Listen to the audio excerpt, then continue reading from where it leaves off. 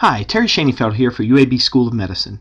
In this video I'd like to demonstrate how to calculate the negative likelihood ratio of a diagnostic test. So 200 patients are enrolled in a study to evaluate the accuracy of a new ELISA-based test for the diagnosis of influenza. 100 patients were diagnosed with influenza by the reference standard culture of respiratory secretions. 80 of the patients with influenza had a positive ELISA-based test, as did 5 of the patients without influenza. So what's the negative likelihood ratio of this ELISA-based test? Well, first we need to fill in our 2 by 2 table.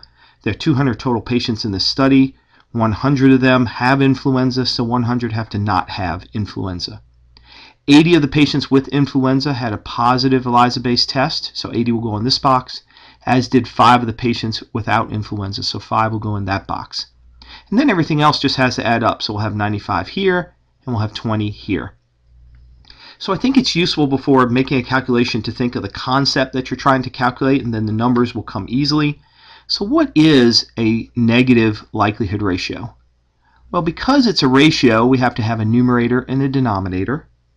And what it is, it's the likelihood or probability of a negative test in patients with disease divided by the probability or likelihood of a negative test in patients without disease. And this probability of a negative test in patients without disease is specificity.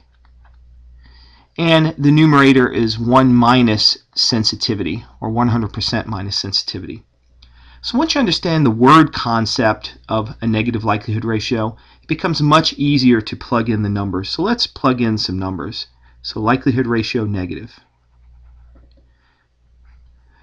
So in the numerator, we have the probability of a negative test in patients with disease. We have 100 total patients who had influenza, and 20 of them had a negative ELISA-based test.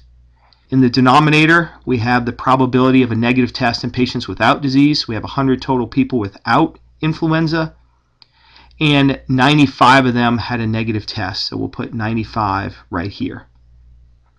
And then when we make the calculations, the 20 divided by 100 will be 0.2 and 95 divided by 100 will be 0.95 and when you make the calculation it comes out to 0.21.